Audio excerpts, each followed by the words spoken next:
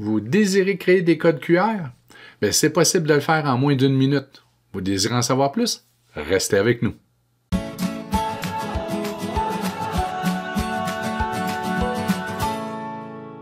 Il y a de nombreuses façons que l'on peut utiliser pour créer des codes QR. On va en avoir deux. Donc, vous pourrez choisir en fonction de vos besoins l'option qui vous convient le mieux. Donc, rappelez-vous, les codes QR, on peut les imprimer, les afficher à l'écran, les ajouter à une image, une illustration, une affiche, ou les inclure à un document, une présentation. Donc, allons-y. Première chose à faire, ouvrez le lien vers lequel vous désirez que le code QR mène. Ce n'est pas obligé d'être un lien, mais dans ce cas-ci, ça le sera. Donc, je vais ouvrir les as de l'info. Et une façon très simple de créer un code QR lorsqu'on est dans le navigateur Chrome, une fois la page ouverte, on choisit les trois points en haut à droite, enregistrer, partager et créer un code QR. Et devinez quoi? On vient de créer le code QR qui va mener à cette page-ci.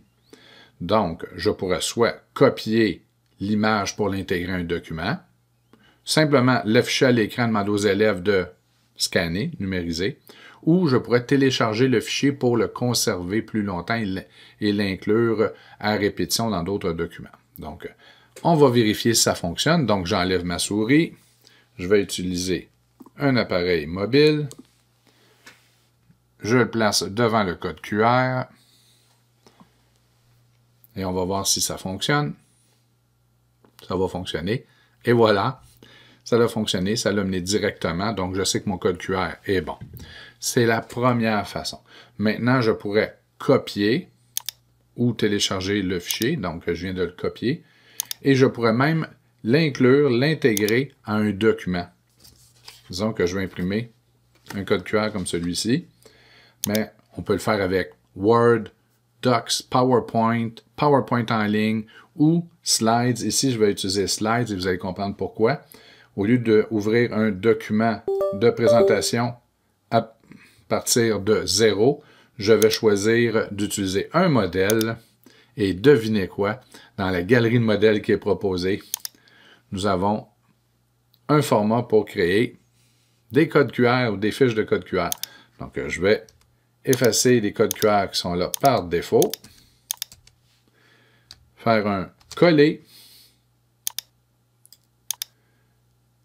et voilà, je viens de créer ma fiche qui serait prête à être imprimée. Donc, allons-y avec la deuxième méthode. Je reviens aux as de l'info. Je viens dans la barre ici d'adresse. Je vais faire un copier de l'adresse. Je m'ouvre un onglet pour ne rien fermer. Et dans Favoris CSSS, il y a un outil, un créateur de code QR. Celui-ci donne plus d'options que celui qui est intégré au navigateur, mais nécessite quand même quelques clics supplémentaires.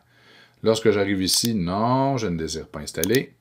Et dans Entrer l'URL, je vais faire un clic droit, coller. Assurez-vous de faire Enter. Et voilà, mon code QR est créé pour mener aux as de l'info.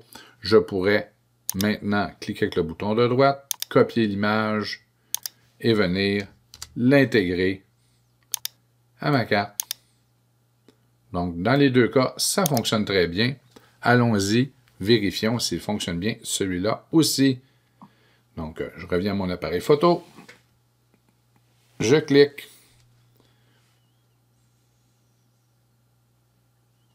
Et voilà. Donc, deux méthodes pour créer le code QR.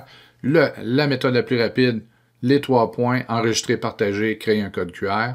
Mais, je dois avouer qu'on est plus habitué au format du créateur de code QR que l'on retrouve dans Favoris CSSS. Donc, euh, bonne création de code QR.